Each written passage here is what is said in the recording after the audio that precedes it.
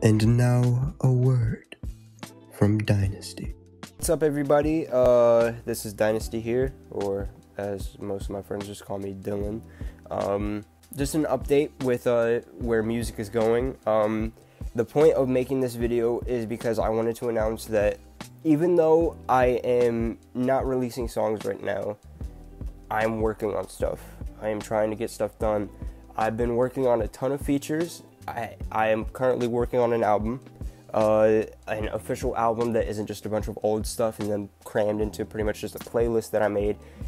It is going to be an actual album, a start to it, and end to it, a story behind it, and everything along those lines. We're gonna have features and stuff like that. Everything that you expect that should be in an album, it will be in this album.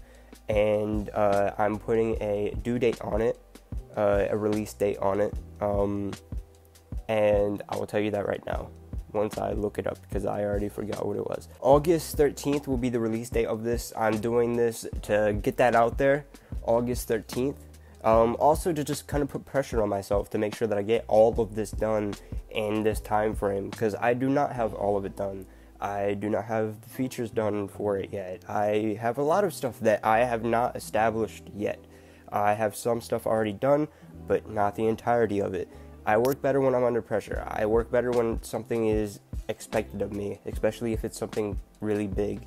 So hopefully this gets me going because uh, I do need that every now and then to uh, work as best as I can. Expectation, um, because I do work the best under pressure.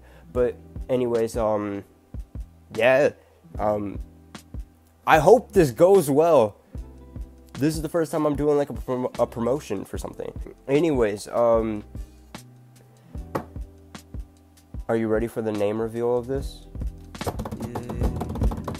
My phone's about to fall.